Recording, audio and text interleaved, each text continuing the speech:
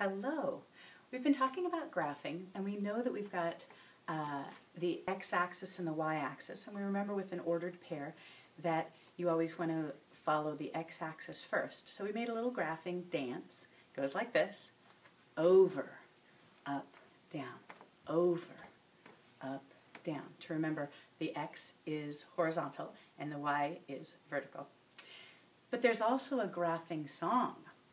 Now the graphing song is a little more elaborate. It helps you first think of if you are using a formula, you're solving for y in order to find slope-intercept form, and that's one of the friendliest forms to graph. Also that uh, in the song it says y is also equal to the function of x, the f of x. So we can think about that. And that would be helping us to graph a line. So this is the reason why I'm sharing this song with you, and let me share the song first. When you're graphing, first you find y, or f of x, if that might apply.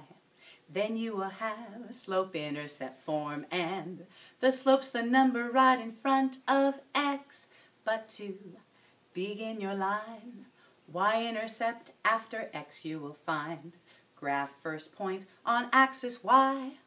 Then you rise and run, rise and run, make several points now, and then graph your line.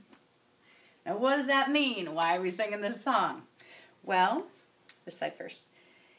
If you have an equation and you solve for y, you'll see that you have two great pieces of information to graph using slope-intercept form.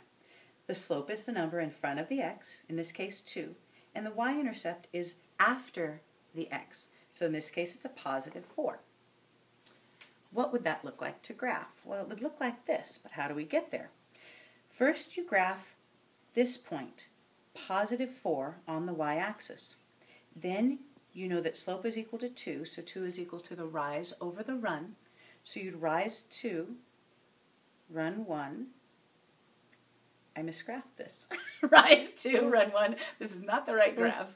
But in your imagination, let's do this. Rise two, run one. Rise two, run one. Rise two, run one. Connect the dots. And there you will have the correct line. Here, I blew it, but I'll show you. Error analysis. I rose two and I ran two. so it should be a steeper line than that. Whoops. Thank you. Bye.